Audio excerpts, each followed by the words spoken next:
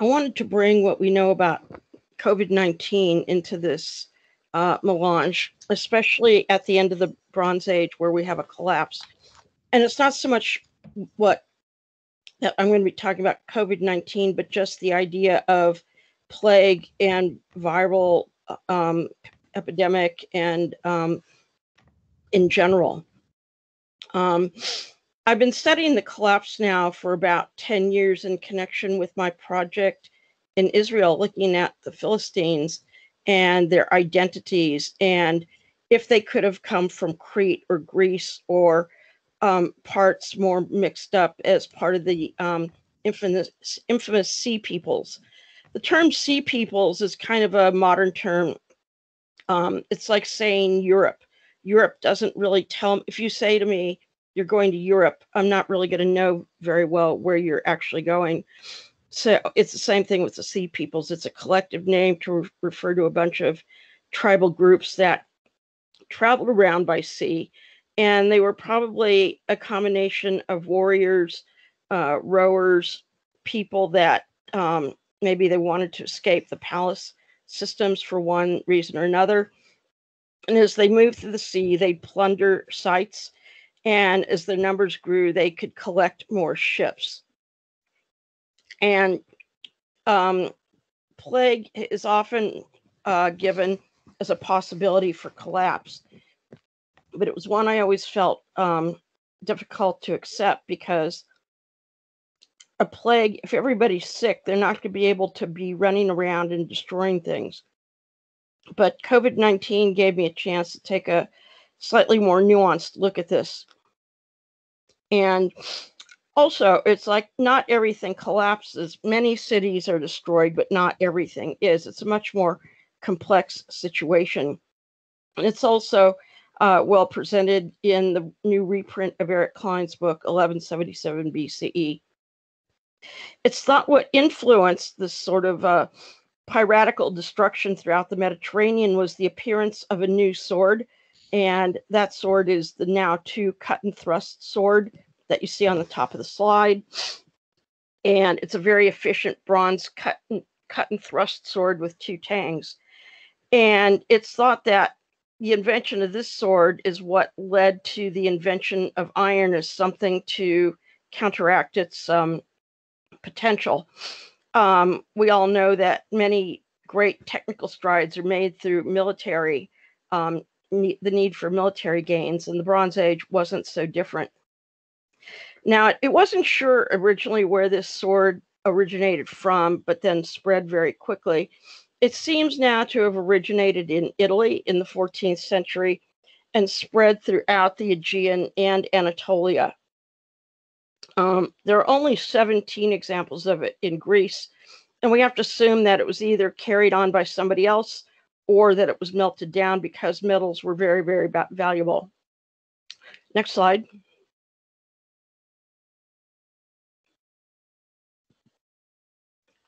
I got it.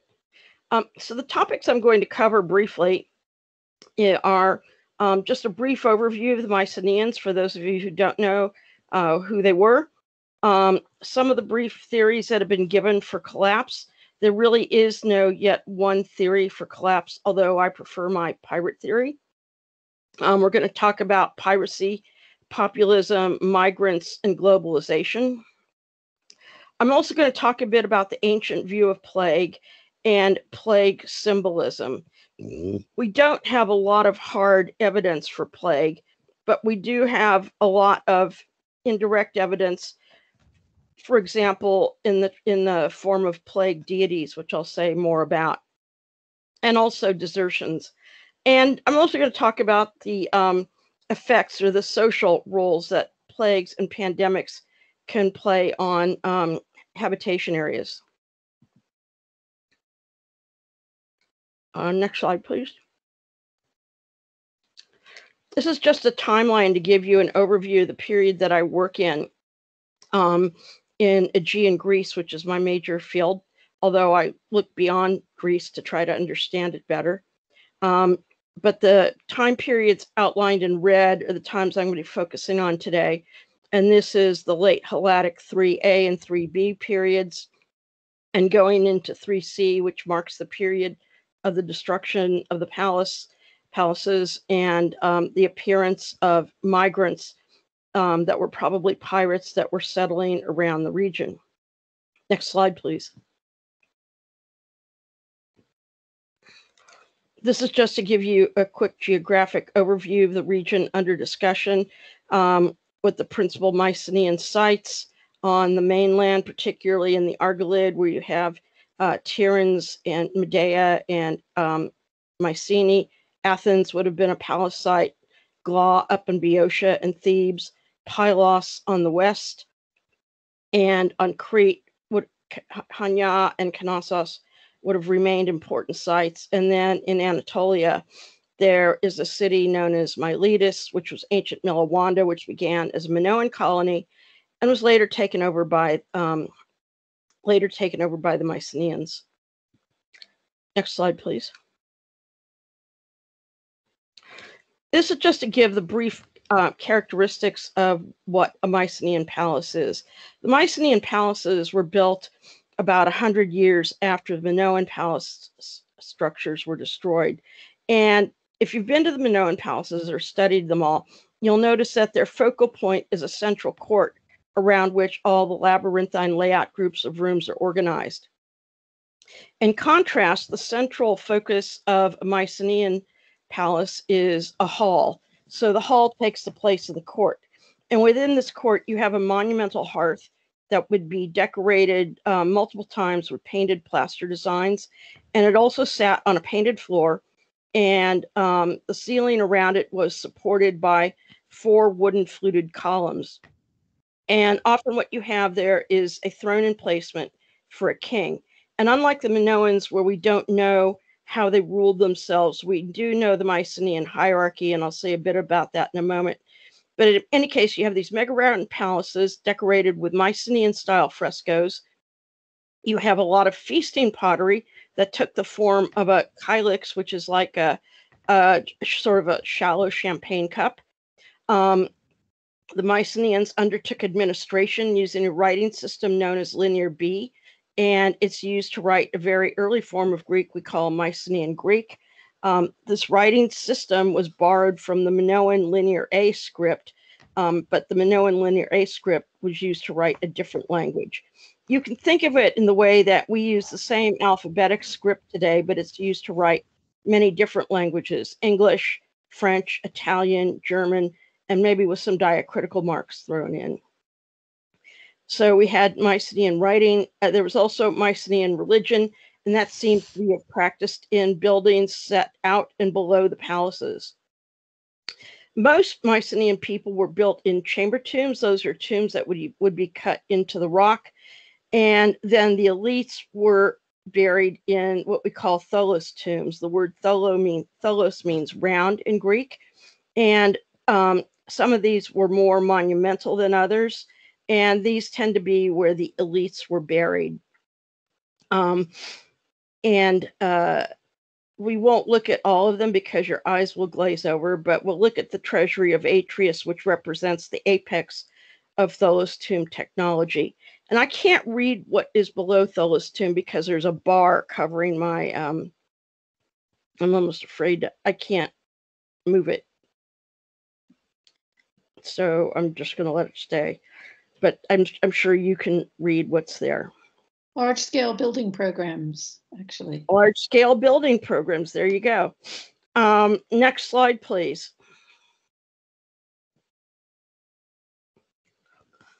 And this is just to give you an idea of the Mycenaean palace style. This is a palace at Mycenae. It's on it's not on top of an acropolis and it was heavily fortified. It's not as well preserved inside as the Pylos Palace. A lot of it's worn away. You can see that where the hearth is. And in fact, um, part of it um, to the left corner actually fell off the mountain. They did something interesting in this one, though, that you don't get in the others that have the painted plaster floors. They actually had some gypsum paving stones that they brought over from Crete so they can imagine themselves walking on the Minoans who they had um, basically conquered. And when you're looking at on the right is a linear B tablet, that could be held in the hand and have writing on it. Um, below are these Kylix cups that I talked about in terms of for drinking uh, ceremonies and rituals. And they change subtly over time in terms of the decoration might become more schematized, a little more natural. It might have three uh, three motifs on it, then changes to one. And these uh, changes in the motif rendering are how we date them. And then what you're looking at in the lower right hand corner is a reconstruction by an artist, um, one of the de Jongs of the um, inside of the palace at Pylos. And it shows it very grand with um, two griffins and lions. Um, however, only one griffin was ever detected in the excavations, so it may be a little overdone. But this gives you a sense of what the Mycenaean palaces look like. And I would mention again their text, whereas the Minoans actually had ritual and religious texts, Mycenaean texts were almost entirely used for um, bureaucracy and administration. You have deities mentioned in the text, but they're mentioned in terms of receiving guests or gifts from the people or from the priesthood. Next slide, please.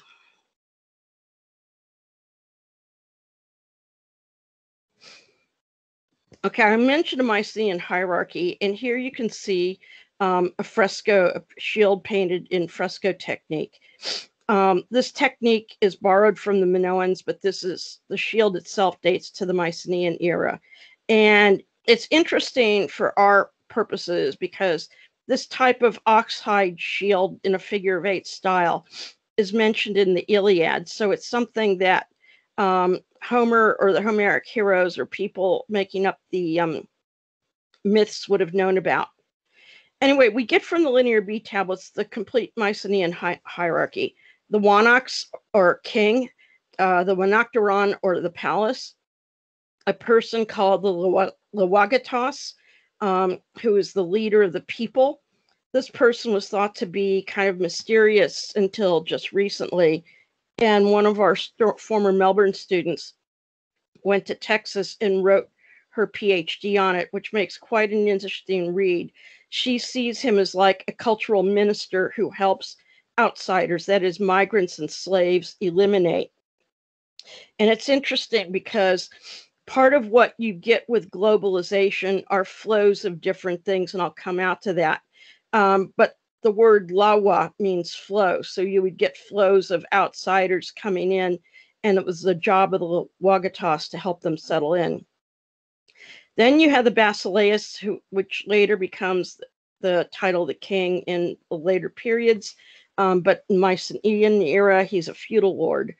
And then you have the Hecates or the followers, and the telestae or the landholders, and they all contribute to the system and make it happen. Next slide, please. We get a little bit of information about Mycenaean religion from the Linear B offering tablets. They don't really tell us much about what deities did, but we do learn of their existence. And we learn of some that we didn't think appeared until much later, with the um, classical era. So we have Diwi, which is to Zeus, Atena, which is Athena, Atemito, which is Artemis, Imaat, which is Hermes, Poseidaio, which is Poseidon, Potnia, which means lady, uh, Toyo, which is the labyrinth. And so if you were going to give one bottle of honey to the lady of the labyrinth, that would be one jar of honey, Dapuritoyo Potnia. And that's just to give you an example. And the statuette on the right is a wheel made goddess statuette. Well, they think she's a goddess. Um, she stands about 50 centimeters high, and she was found at um, the temple, the Mycenaean temple on the island of Phylakopi. And more recently, there's been a bit of argument about her as to whether she is female, given she's got what looks down here like could be a beard or a tattoo. And then the rendering of her um, eye, her unibrow, that's a very Near Eastern way to render an eyebrow. So there might be some Near Eastern influences coming in. anyway, she would have been placed in a back room with a holy of holies, and offerings would have been given to her. And a second or double temple was added later, and that second temple had more to do with offerings from males and animals and things like chariot groups. Next slide, please.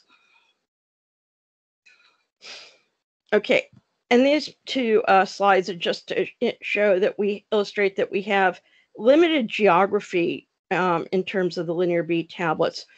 Um, this is Knossos up at top, but we have the word for Festos, which is Paito, um, the word for Pylos, which is Puro, which is at the bottom, um, Konoso or Knossos, and Turisa, which is Tilissos, an area of very powerful villas to the south and east of Knossos.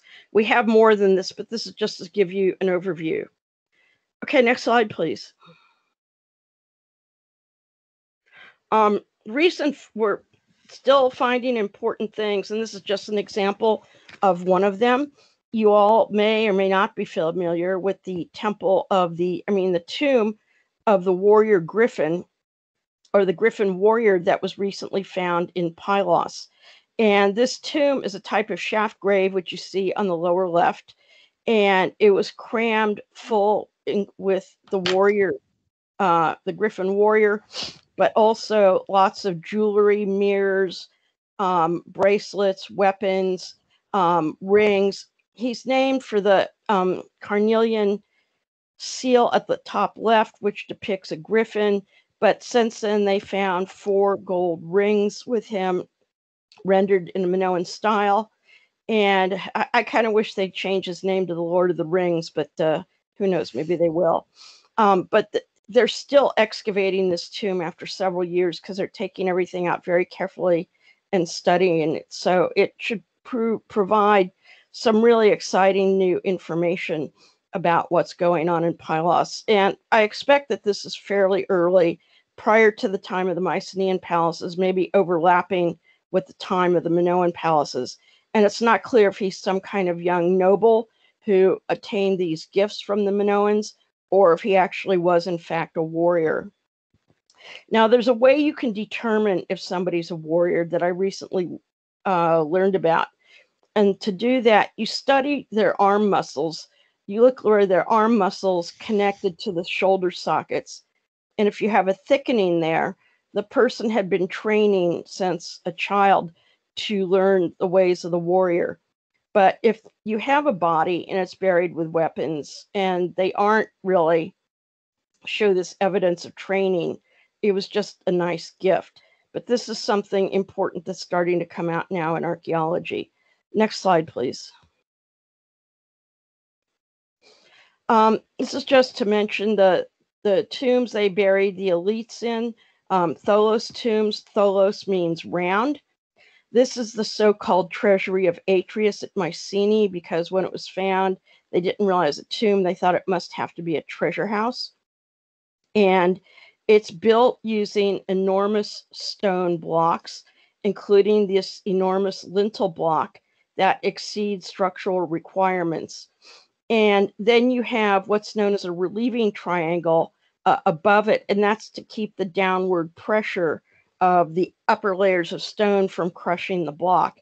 You have a similar um, way of building in the um, burial chambers in the Egyptian pyramids.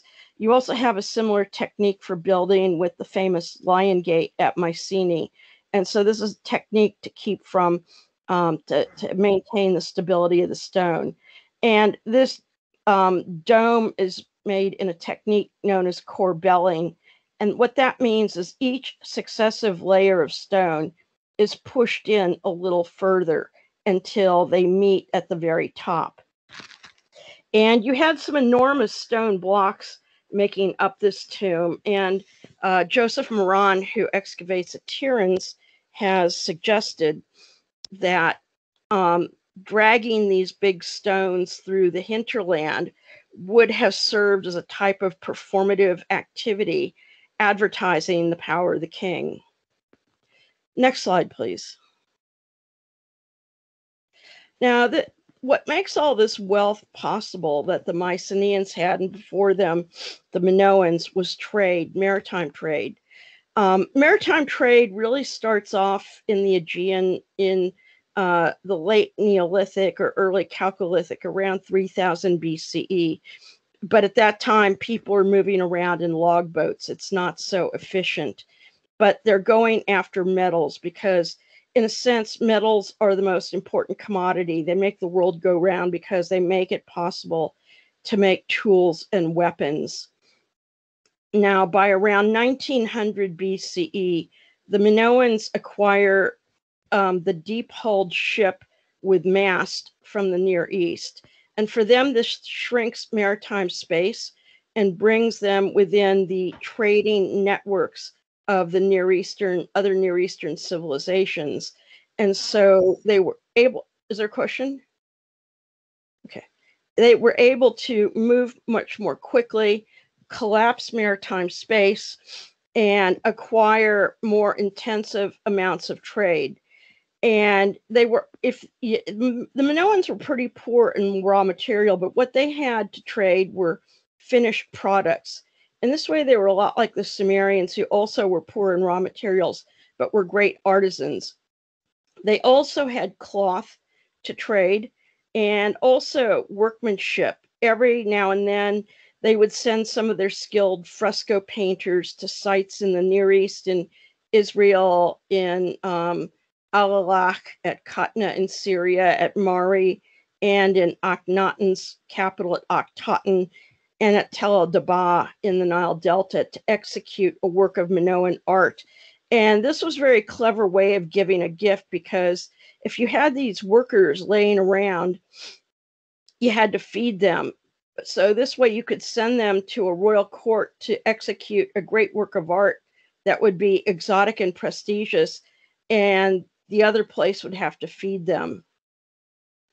Um, so you have, besides imported metals and uh, imported works of art, uh, other things were moving around, such as um, raw materials, um, exotic worked materials, um, prestige goods, some in form of decorated pottery, often holding perfumed oil, um, glass, faience, um, whatever you could cram into the ship. And these ships often traveled in sort of a circular fashion, hugging the coastline in the Mediterranean, but they also branched out into different areas. And you have trade going as far as from um, Cyprus to Sardinia at this time. And it's not sure what was going on, what the reason for it was, because both Cyprus and Sardinia were rich with um, copper. However, Sardinia might have been getting um, tin from the Balearic Islands, which would have made it important for creating true tin bronze. And at the same time, the Cypriots might have been sharing some of their uh, tech technology um, with these peoples. So you had quite a bit of movement. You would have probably had, um, I just read an article today about a ship that was uh, rescued that had people speaking all sorts of different languages. And this would not be unusual. You probably would have people getting off, getting on. Um, if a ship was a pirate ship and captured another ship, they might split apart where you had um, different groups leaving the first ship and going to take over the second ship. Okay, uh, next slide. Um, this is from the very famous shipwreck off the southern coast of Turkey, known as the Ulu Burun wreck. It had, in addition to having a lot of goods I've already mentioned on board, it had 300 copper oxhide ingots. And here you can see them in situ, just the way they would have fallen and fallen in stacks on top of each other. And it could be estimated that this was enough copper to make 20,000 uh, bronze swords. That doesn't mean that's all they were going to make with it, but it sort of indicates the value of a great um, a great hoard like this. And it would have had to have equaled, like say, losing that metal would have had to have equaled a 1,000 point drop in the stock market because it would have been a huge loss. So metals seem to be um, one of the main media of exchange. I also believe spices were also bolts of cloth and things, but things like spices, beads, and small objects could be easily carried on a ship and sold on the side. Next slide, please. Now, as these different rulers from Egypt, Cyprus, Sardinia, Mycenae, Anatolia were interacting with each other, they started to establish diplomatic relations and refer to each other as an elite brotherhood of kings. And to sort of show their prestige to their retinues, they collected small objects made in precious materials, but rendered in an international style. So they could sort of show these off to their other great kings. I like to call them as memberships cards in Club East Med. And an example of this is this um, ivory conical rhyton on the right. And a conical rhyton is a um, vessel type that we tend to associate with Greece, where it's usually made out of ceramic, but this is carved out of ivory and it was found in Cyprus. And then the ivory box on the top was found in Enkomi on Cyprus but it shows animals with their legs outstretched in both directions. This is a form of style of gallop called the flying gallop attitude, which was developed by the Minoans about a thousand years earlier.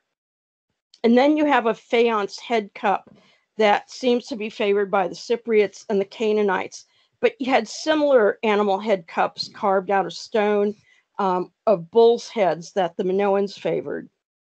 And then you have this gold ring, which is one of a number of gold seal rings. And it turns up in a later context in a hoard in Tiryns after the palace is destroyed. But this is just to give you an example of how there was this international style. And they also um, talk, different rulers would communicate through a diplomatic language on cuneiform tablets written in Akkadian. Next slide, please. Now, I mentioned the fortification of Mycenaean sites and their building programs, and how, um, ha- although the initial fortifications did not uh, fulfill much of a fortification purpose, they were more to show off, to uh, copy the wealth. Perhaps the Mycenaeans were emulating the Hittites that you see in the upper right corner. Both had lion gates, but of different type of rendering things seem to get more um, more tense in the end of the 13th century. And what happens in the end of the 13th century is the Mycenaeans extend their fortifications and they extend it to bring a water supply within um, the palace area. And this is prior to the destructions of these so called sea people. And um, you start to have destructions around the end of the 12th century. Again, these destructions are attributed to these mysterious sea people. Um, the term sea people is a modern term that was coined in the 19th century by um, a scholar named Gaston Maspero. What we have are references to a lot of different tribal groups, and I'll say more about them in a moment. But as the Mycenaean citadels were being destroyed, it's likely some of these people, the people that were liberated from having to drag these heavy stones around, um, fell in league with various pirate tribes or became um, or just became bandits. And I mentioned the new type of weapon that came and how it inspired iron technology. Next slide, please. Um, and so you start to have these different ships going around with people, um, and they all wear the same set of uniforms, sort of uh, it it goes between having horned helmets and spiky helmets, a round shield, and a spear. And a lot of these styles come from Italy. And we actually have found some uh, um, sea people styles helmets buried in the Greek mainland, um, also depicted on the famous uh, warrior krater from Mycenae. And there are a lot. There have been a lot of theories in the past for the end of the Bronze Age. Um, it used to be thought that there was a Dorian invasion that swept down from the region of Germany and brought whiteness, blonde hair, and blue eyes to the Greeks. Excuse me. And this has been pretty much um, discarded as an Aryan fantasy. And then you have, there have always been speculations of plague, but if you don't have mass graves and a whole lot of dead people, you don't have a lot of, um, you don't have a lot of evidence for plague. Plus, if everybody's sick, how can they go out and pillage places and cause destruction? Um, and this is where I began to start to think about this, and I'll mention that in a moment. But um, plague was often just sort of thrown in there, but with real no no real evidence to substantiate it. Um, the same goes for climate change. There's a little bit more evidence for earthquake in that many of the major sites that were destroyed during this era seem to be near earthquake faults. That doesn't mean an earthquake would necessarily destroy these sites. Coming from California, I've lived through two major earthquakes, and some of them can make your house shake like you're rocking on a boat. In other houses, there's no sign at all. So it can be very, it can be very um, precocious. But the thing is, is if you have an earthquake, it might create enough fear and moment of surprise to enable a peasant uprising and where peasants fall in league with the sea people who we've recently interpreted as pirates. Next slide, please.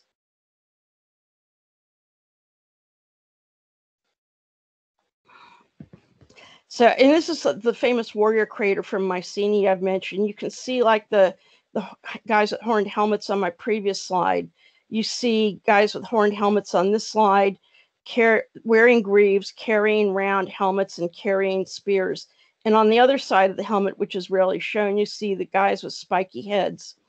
Um, and this krater dates to the end of the of the Bronze Age, the Mycenaean 3C period, after the destruction of the Mycenaean citadels also, at this time, you have the destruction of several important Cypriot administrative centers.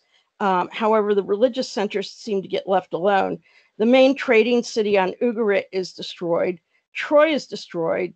Um, is destroyed. And before this happens, uh, the king Suppiluliumos dies from plague. And then you have some incursions into Canaan. And this is I again this is the era of the Trojan War and as westerners because of the Homeric myths we tend to fixate on the importance of Troy in the Trojan War. Troy had an important strategic um, location in that it blocked the straits to the Dardanelles leading from the Aegean Sea to the Black Sea. But what happened to Troy was just a small part of what was happening throughout the entire region. And during this time, some of these tribes of sea peoples, these various groups and boats, they tried to attack the Nile Delta. And this is another sort of piece of evidence that they were pirates, in that pirates are rarely successful when they engage in direct combat. They're better at hit and run tactics like uh, burning burning villages at night, taking lone boats by surprise anyway, they desolated the, the coast of Crete, and most of the people on Crete moved to mountaintop, um, moved to mountaintop refuges. And at this time, a lot of the material culture changes. Next slide, please. Um, it has been argued that Mycenaean um, art or artistic depictions tend to focus on agonistic activities. By that, I mean military and warrior um, decorations in contrast to uh, the Minoans who are always portrayed doing sort of more peaceful endeavors, but not always. Um, and this is just to show this is actually one of those round metal helmets found it on the on the left center, found at the site of Portes um, near Arcadia. And it's the first one of these sea people helmets that's been found. And then what I'm modeling is a set of ceremonial armor. It wouldn't have probably been used for fighting because it was very clunky. All the weight held on the shoulders, and if you fell down, you couldn't get up. And something else that's interesting with of it with it about it is that the helmet is a boar's tusk helmet, the type of helmets mentioned in Iliad. However, after the destruction of the Mycenaean palaces, you no longer see boar's tusk helmets you only see these feathered helmets with a metal band going around the head or these horned helmets like you see um, on the on the uh, on the warrior krater. Next slide, please. And here you've got you know, uh, some Mycenaean 3C sherds um, showing like fighting activities. And the argument we made for having pirates at this time is that you have suitable geography in terms of um, pirates like to attack at choke points where ships would have to spread out. They like to settle on promontories where they could have a good look at prey. And they also like to settle in uh, river valleys where they could hide and maybe repair their ships. Um, they pretty much lived on a shipborne culture, but in the Bronze Age, people couldn't sail year round. There was a um, sailing season lasted until from April to October, and then there was a planting season. Um, but so they may have planted the winter and sailed and plundered in the summer. We know the Vikings did this. And when they did this, they would have gone pillaging, not for not for gold so much, but for things they could use. If the gold's the use of gold to them would so, solely be to get food and boats and other things that they needed. And as they as they fought, they would have attracted followers and captured ships. Now, a, uh, a pirate ship operates differently than, let's say, a Navy ship did. On a Navy ship that's run by a government, let's say in the 18th century Atlantic, the British only gave them enough rum to make them happy. They made the, the crew very small so they wouldn't have to pay them extra. On pirate ships, you had as many people as you want and they shared everything so they ate better and um, they had less work to do but be that as it may it's kind of like they're kind of like hunter gatherers of the water in that when you have hunter gatherer tribes um, roaming through africa or north america and the tribe becomes too big or maybe there's a disagreement they will fission off. And it seems that this would have been the case with pirate boats as well. Next slide please. We're getting the plague. And this is just a couple of examples of sea people ships on the left um, from the Medinet Habu reliefs on the right uh, from a stirrup jar, which is a Mycenaean style jar from the island of Keros. Although I've been told more recently, the ship on the Mycenaean stirrup jar is actually a Sardinian ship. And Sardinian ships are very similar in style to uh, Mycenaean galleys. Um, I started also at this time incorporating Canaanite technologies into the ship in that they made what was known as a brailed sail. And that's a sail that could be pulled up and have rings holding the parts of the sail up, and it could be maneuvered in multiple directions. And the person who really knows about this idea is Jeffrey Emanuel. Okay, next slide. So I mentioned again on Crete, you had, um, and this is like one of the first sites I worked on Crete as a student. The Minoans left the coastlines and they went to um, ma- mountaintop defensive settlements.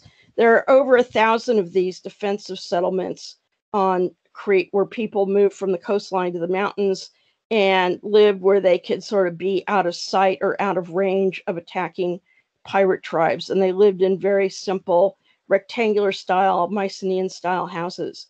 Next slide, please. And this is just a reconstruction of another one of these settlements at the mountaintop site of Karfi, which is known as the Nail. Next slide. So, arguments for plague and textual sources. We don't have a whole lot of direct evidence, but we're getting more. Um, in the Athenian Agora by the ninth century, people were practicing cremation burials. Um, the one you see on the picture is uh, a metal cremation burial with an iron sword wrapped around it. And there's been some speculation that you start to get cremation burials in the Iron Age alongside inhumations because it was a way of dealing with um, people who had died from plague. Um, and also there was a depopulation of the land in mainland Greece.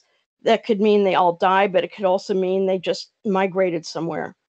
Um, and so it's an argument from absence. So you, the evidence we have, you know, these few cremation burials, we don't have mass graves, um, depopulation, cremation burials that accompany inhumations. And we, what we would also expect to see if there were plagues going on, and this is something you see in like the medieval Renaissance period, people actually collapsing dead in their fields. So I had to do a bit of reading outside uh, my area to get some idea of what like plagues and pirates in different uh, time periods. Next slide, please. Um, much of our evidence for plagues is indirect in that it comes from texts, both historical and mythical.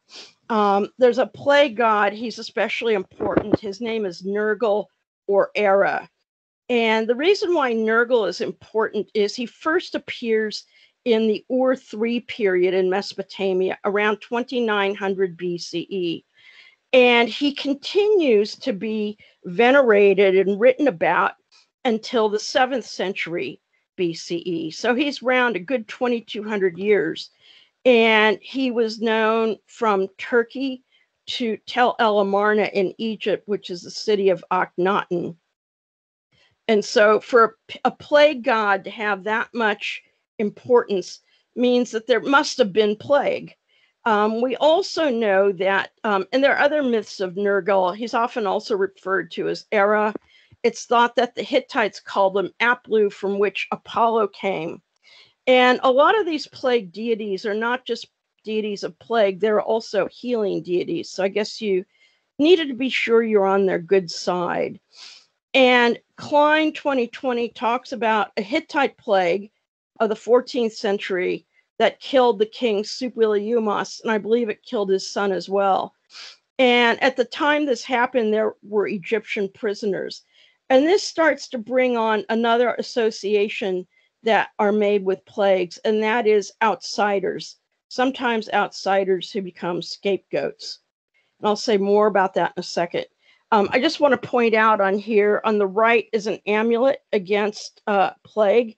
In the middle is a, a, stone bowl dedicated to Nergal. And on the left is a tablet that I'm going to be writing about in an article I'm working on right now. It's one of the 300 Amarna tablets, which were diplomatic texts. And it's remarkable because it, it's written in cuneiform, but it comes from the king of Cyprus and it's sent to the king of um, King Ak- Akhenaten. And he talks about how his shipment of copper to the king is late because his workers were gripped by the hand of Nergal. That is, they were all sick. And it's unusual because we're hearing about a Mesopotamian plague god in Cyprus. Um, they're writing in Akkadian, which was the diplomatic language of the era, but the Cypriots had their own Cypro-Minoan system that came from Minoan Linear A. And it was debated for a long time as to whether or not Alatia and Cyprus were the same place. And some Israeli scientists actually did a sample of the clay from this tablet and have determined that it was actually indeed found on Cyprus in the area near where there's a big monumental building called Alisa Paleo Taverna, and that this was the sort of um, route coming from the copper mines in the Troodos Mountains to the sea. So it's quite an exciting piece of information. Um, and one thing to remember with plagues, plagues in ancient times were not always conceived of the way we do. So when they say there were plagues, maybe some of them were viral plagues, but others were not. For example, you have in the Bible talking about the plague of locusts or the plague of frogs. So it could be any sort of misfortune that seems to come out of nowhere. So it referred to sickness, but it also referred to other kinds of misfortune. Next slide, please.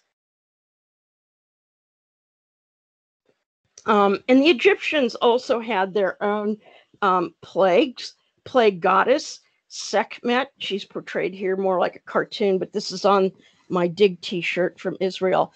And she's an Egyptian plague deity.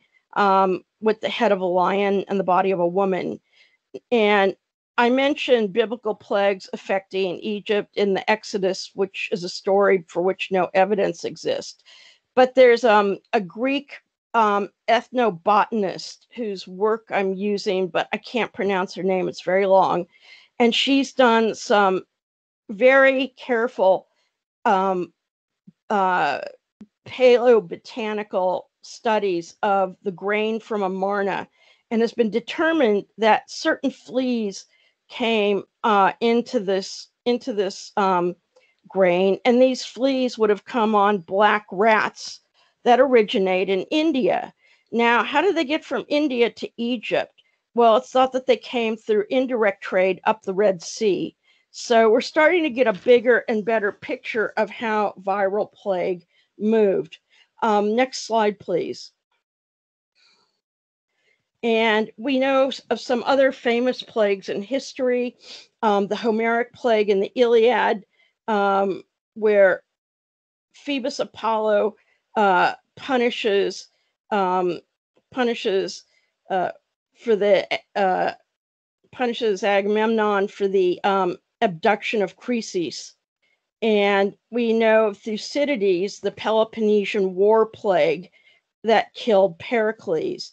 And in, ca- in terms of the plague of Athens, it was noted that there were Spartan prisoners there as well as um, some African Egyptians. So again, you have this um, sort of loose connection between the appearance of outsiders and plague. Next slide, please. We're almost done. Um, so we get most of our, our information from texts that are historical and mythical, but we're starting to really get more information now to from um, paleoethnobotany. And um, there's also in the Bible a biblical plague of the Philistines that's mentioned, um, where they had boobubs uh, on their body, and they and this is because they ran away with the Ark of the Covenant or something. Um, the, the thing is, we have no archaeological evidence that a plague ever hit the Philistines at this time because they were doing quite well. However, what we can learn from this entire survey is that plagues existed from time to time. Um, they often appear in uh, in concert or at the same time as unwelcome outsiders. For example, the Philistines were unwelcome outsiders. So were the Spartans in Athens. Um, in in 19, it gets worse. In 1349, thousands of Jews are executed in Europe because of a plague, and they were blamed on making uh, turning the water bad. And so there's this association between outsiders, plague, and vermin. And it's really not the outsider's fault. But the thing is, when you have globalization, you have ships and you have maritime trade, things that come in on maritime trade are not just outsiders, but also rats and fleas. And it's interesting that in Venice, um, Venice managed to keep its economy open, but they did this with a very strict quarantine system. In fact, our word for quarantine comes from Venetian quarantini, which means 40. And they would require um, merchants coming to Venice to be in these quarantine hotels for 40 days. And they right outside the hotel, they would um, erect a hangman's noose as a reminder of what would happen if they try to leave. Um, so this whole idea of mitigation has been going on for quite some time, but also scapegoating migrants as people coming from elsewhere that are, are somehow a type of threat. Next slide, please. And this is actually on the Uluburun ship where we got all those copper ingots. They actually found a mouse jaw, and this mouse could have also uh, been carrying fleas and plague. So when you look at what I did with looking at COVID 19 was to look at um, plague not as something that created an ultimate collapse, but something that um, was a contributing factor to the contraction of economies. And the places that seem to be most affected by plague are trade hubs. For example, maritime ports, boats. transportation hubs. Both Wuhan is a market center and a transportation hub. As a result of these things, trade falls. New York City, that got hit very badly in the beginning, is also um, a transportation hub. And it's, you have people in close quarters traveling by planes and subways. Also, ships and caravans are moving germs and vermin throughout the uh, Near East, especially when you think of things like the caravanserai routes that were bringing things from the south, spices and so forth that would have made it up to the shore and then gotten put on another ship. Um, so it's transport as long as we are going to trade and interact with other people and travel. Um, plague is co- kind of an unwanted stowaway uh, for us. I think it's the last slide or next last slide. And just again to show these trade and transportation hubs, um, how people got along, and um, you know the Uluburun shipwreck was you know it was a, a fine example of this. You had ships and caravans, and they would have been moving germs and vermin um, in the past as well as in the present from hub to hub to hub it's like a lot of people think of islands as sort of this pristine environment, but in fact, island and coastal areas were in more intense contact than anywhere. And this created a great recipe uh, for plagues to spread if people weren't careful. Next slide, please. And so you could say ships plus trade bring in outsiders, outsiders bring in plague, and plague is brought by vermin. And that things haven't really changed too much, I think, in about uh, 6,000 years. So let's go to the next slide. And the place, the places that seem to be the last that hit by trade are the more rural areas, the places that are more open spaces. Although if it spreads bad enough, like it has in the U.S., those places get hit too. But if you're out living out in the, in the hinterland, like you have Bedouin shepherds here on the right and on the left, these are people living in Appalachia, which is a pretty poor area. But if you have um, sort of people living on the margins, uh, are going to survive a lot better in in an instance like this. Um, but you do have food production workers too that live in crowded conditions, and this can be another driver of plague. Um, food producers, in a way, are more important than skilled crafters because at the end of the day, it may be more important to have a bowl of porridge than an ivory bowl. And um, these essential workers who are food producers often live in crowded conditions and have less hygiene.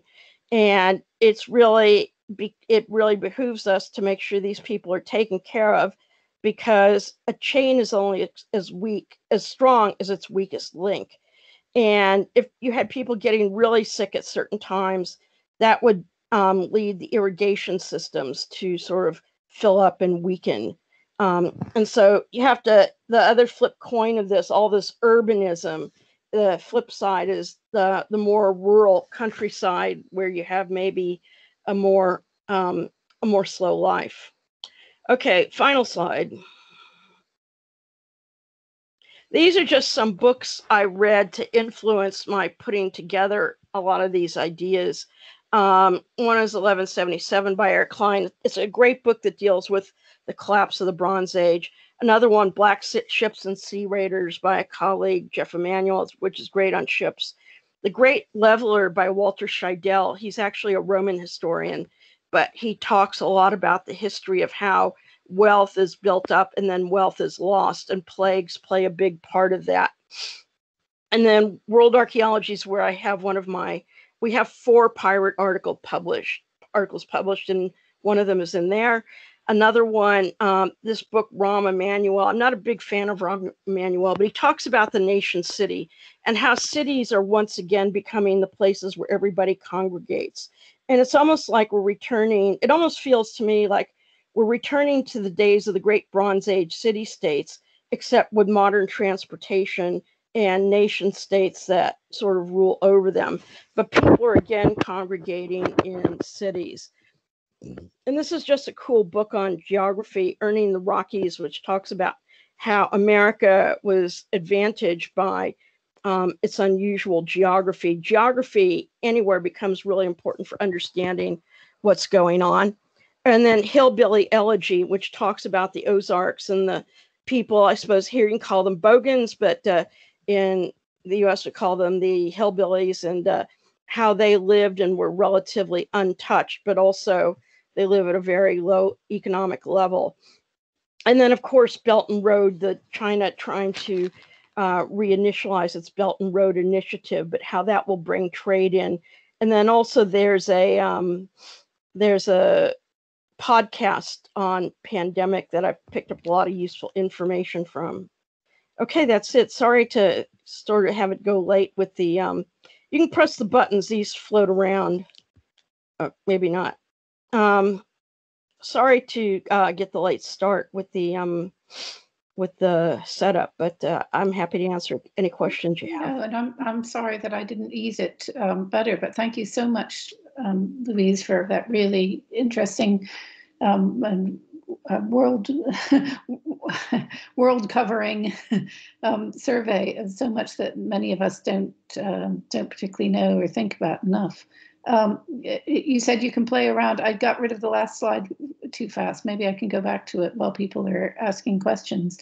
Um, yeah. I, for, I, forgot to mention to um, everyone at the beginning, uh, since we kind of rushed into it, that um, I'd be happy for you to put questions in the um, in the uh, chat, or uh, better yet, raise your hand and then come um, come speak to us. I know that um, we had a couple of people who had to go early because they were um, going for too many lectures. There, there, was David Lewis was giving a talk um, at five o'clock, so I know we lost one or two people there, and a couple of people have, have dropped out. But um, thank you for coming anyway. Um, do we? I don't see any hands up yet.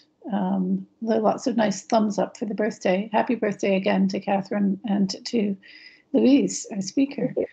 Um, while we're waiting for other people to either add questions to the chat or um, put up their hands, I just wanted to ask a little bit about lessons learned. Do we have any any evidence um, of of you know the especially the plague of, of civilizations having having learned or taught each other you know things that would sort of help them and i almost wonder if um, I mean, you two words that you used a few times, gypsum and copper. Those are things that respectively have either antimicrobial or anti-vermin properties um, that surely the ancients um, uh, knew about. I can't think of the actual text myself, but um, and these these are things obviously associated with the sea peoples as you uh, as you debunk them sorry, go. Yeah, I'd be interested to know your thoughts. Snakes would be good too, or just to keep the house clean. I was looking at the vermin, um, the vermin invasion up in New South Wales, and now they're poisoning, which are leading dogs being poisoning. But I saw how they used to have this club of guys with with terriers that go through and eliminate them. But I also think the thing that really came through to me with this is that in absence of a vaccine, um, mitigation, um, separation, uh, separation and distancing are still the best, two of the best things for beating back this plague. And you know, we think it's bad because it's come once in a hundred years. The bubonic plague came two or three times a generation. Wow. And it also, though, created it hurt the rich in some ways more than the poor because while all these rich people were dying, they were provisioning various colleges that the poorer people were able to go to. And they weren't able to hang on to their serfs, which meant that serfs had more mobility and could command higher wages. So these kinds of tipping points also serve as what we call leveling mechanisms, in that they level um, access to wealth out. So there's a lot of different things going on even piracy, nothing t- so much to do with plague, but even piracy tended to move capital around and make it possible for more different areas to build wealth. And this touches a little bit on the issue of migrants. And do we have evidence of health migrants, economic migrants, political migrants? All, is there any any way that we can disambiguate, you know, how how different groups of migrants are well migrating, or do we like- assume too much? it seemed like different groups of migrating were migrating to like uh, become to do work in textiles or to work the fields or to row or to work in the quarries but you do i know in the roman area era you have a lot of um, pref- preference for greek doctors who would have been slaves but still but still doctors.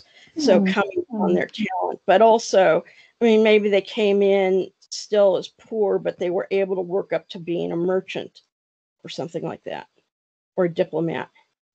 Um, so there was social mobility. The thing that i i found that really struck me is like when the virus was going strong last year and um, Trump was referring to urban areas as shithole places and full of vermin.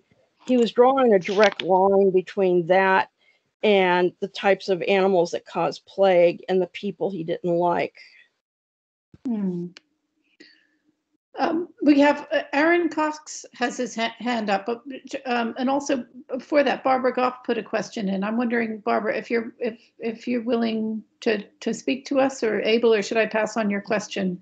I can speak. That's fine. I haven't got a great connection uh, currently, but it was just really interesting to hear that those descriptions of pirate ships. And of course, when you think of pirates, you've got like, I don't know Treasure Island or something, and also some kind of modern accounts, and then also you've got you know Caesar and Pompey and so forth eradicating pirates. So I'm just wondering, do we see connections between different types of pirate culture across history, or is it just a really poor use of the term that we kind of bandy about in different contexts?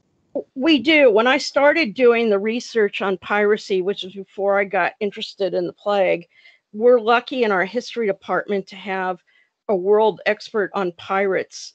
And I took him to coffee and I said, I want to learn about pirates, but I don't want to learn like the anecdotes. I want to learn about their culture.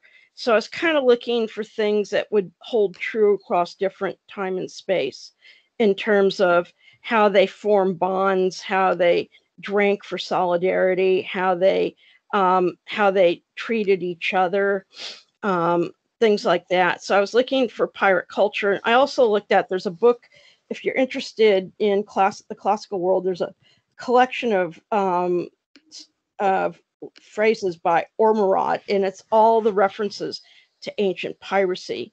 That said, I would say that the Cilician pirates are anomalous compared to most other groups of pirates because most pirates take um, work during a sailing season and take a period off. And the Cilician pirates were renowned for living in their ships. And there also seemed to be like tens of thousands of them. Whereas most pirates groups, whether it's Nor- North Atlantic or Barbary or, or sea people, tend to just be a few thousand and also the, the the pirate cultures are culturally mixed in that and this is especially evident with the barbary culture a lot of barbary pirate captains were from britain but they wore a turban and wore a beard and dressed like an arab or a turk um, so you can see also that there was this melding of cultures That's really fascinating. Thanks very much, Louise. you're welcome Catherine's put more on pirates in the chat, but Aaron, did you want to ask about pirates or something else? Uh, it's uh, along the similar lines. Um, so I was going to ask um, if the so, for example, you brought up the Athenian plague, and you know that was made so much worse by pulling everybody inside the long walls during that period, and obviously it was quite quite devastating. Um, is it you know is it sort of was perhaps the um, collapse sort of magnified more by you know, maybe everybody sort of fleeing the sea people, sort of trying to get into the sort of confines of the more fortified palaces. And, you know, we, we we would need to find the bodies or a mass grave to know. But um, I mean, what the point you make though about the Athenian ones is it's certainly spot on. If they were spreading themselves out, they would have been better off for sure. Yeah, thank you. So, um, Catherine, did you want to turn on your video audio and ask your question, or should I do that? There she is. Hello, I don't know. Was it a question? Was it more of a ramble? I was just interested in pirate culture and how kind of how you know new culture gets generated in this multicultural kind of community of, of pirates and how it how it gets passed on and transmitted. And I suppose I was also wondering, you know, you talked about how the, the pirates like to harry the coasts and kind of settle on promontories and so on. I mean, what what does anything happen in the longer term in terms of settlement by pirates? Do we have? I mean, I, the way I put it in the chat was more like, what what happens when a pirate wants to retire? Um, uh, but Um, yeah, They usually die. They usually died pretty young, but they live better than their Royal Navy counterparts. yeah, Um, it seems, but um, you, you- you're talking about the islands and the promontories and stuff, and it's like how they formed a culture. It's like, I mean, first of all, a pirate would have to want to join as opposed to run off into the hinterland, and you'd have to to be a fighter. You had to be skilled, and to have the skill to fight. That usually started in teenage years, and then captains. They were the only ones that got typ typically paid a bit more because they had a bit more skill in terms of leadership. And the way they achieve, and then the others without skill would have probably been rowers, but the way they achieved solidarity would have been through drinking parties. Um, Susan Sherratt talks about in the Iliad, drinking is the only thing they do more than fighting. Um, but it's not just that. You see this in like uh, North Atlantic pirates as well. Um, they like to have a good piss up and eat and be merry. I mean, the whole eat and be merry part is part of piracy. But we also had to be all business when that time came. Um, so they would sort of build their. It's, it's like drinking in ancient times is like the social networking now, but I think drinking is a lot more fun than Facebook. But it was also they'd have rights.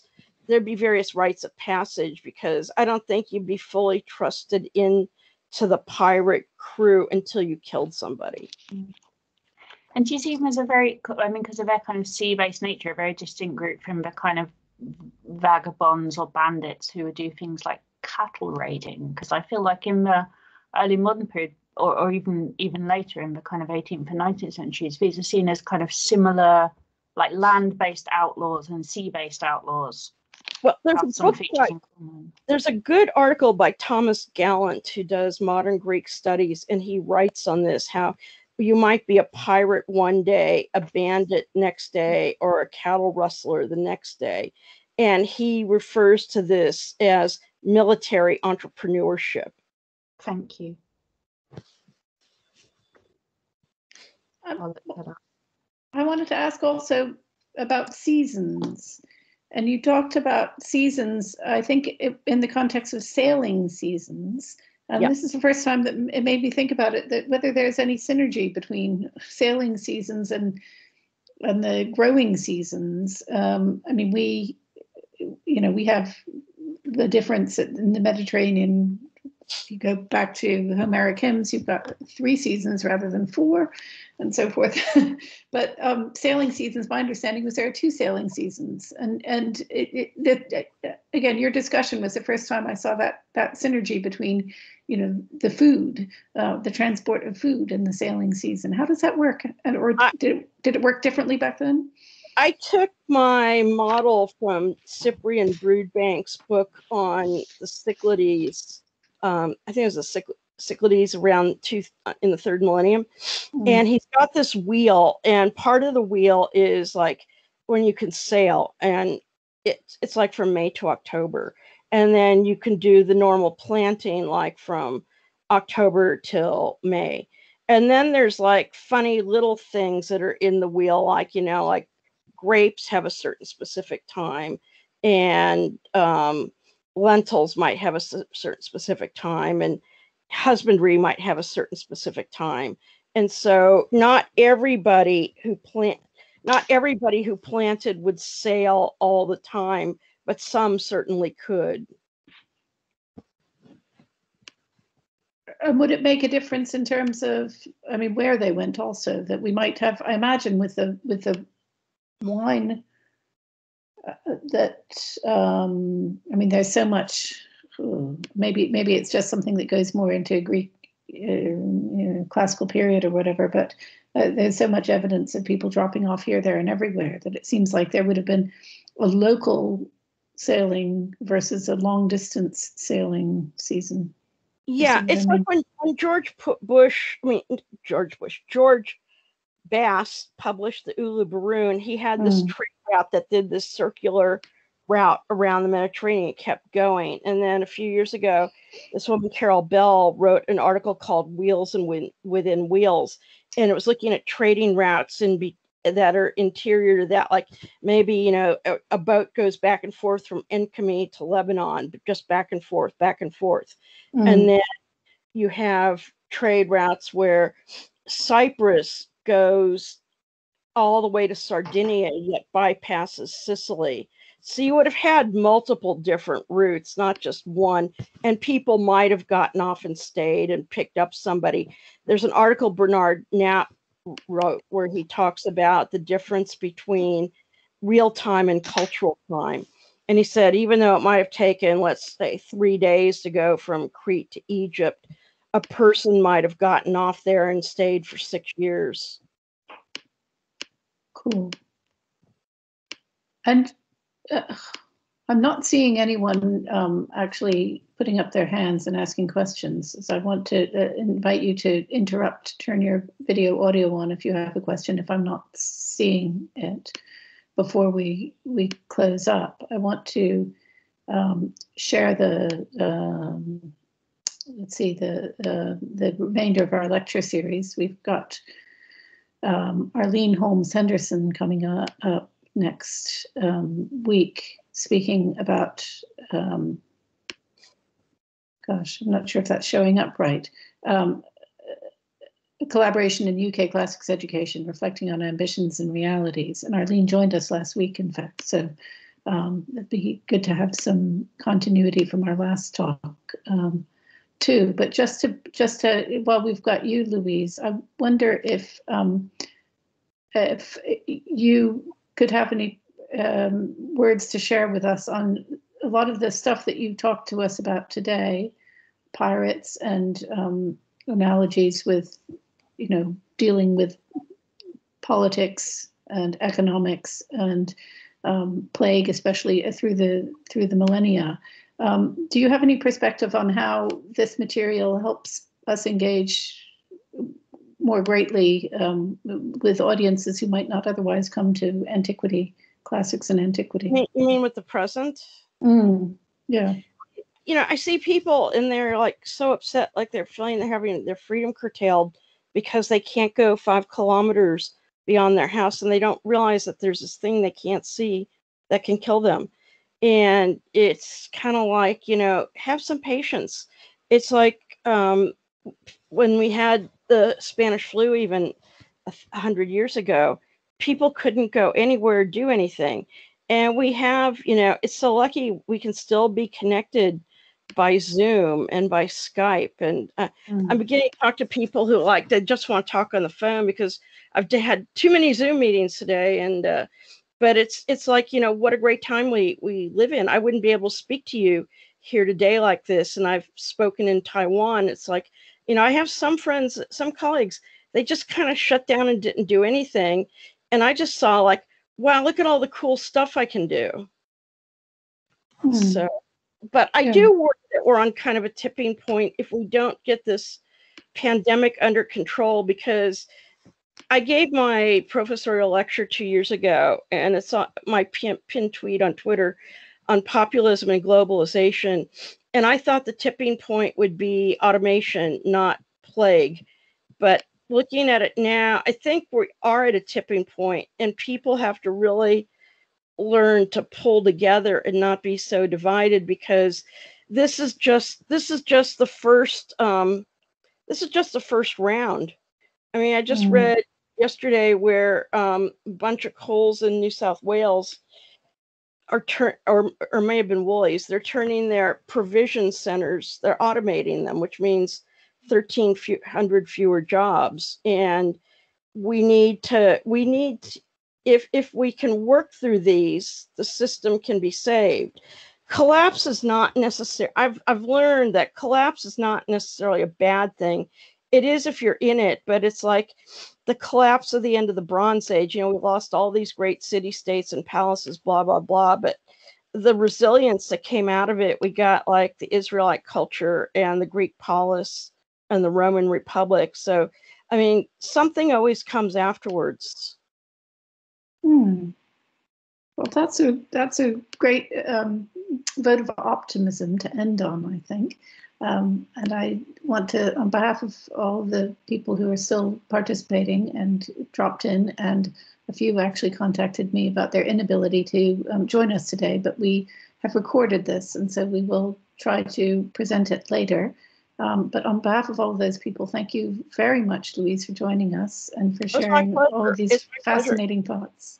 This is Oh. something new i'm working on so every time i get to talk about it i bring a little more to it so it's good for me And can I just ask you, um, one one person put there's a couple of um, hand clappings going on in the in the teams right now in case you can't see them.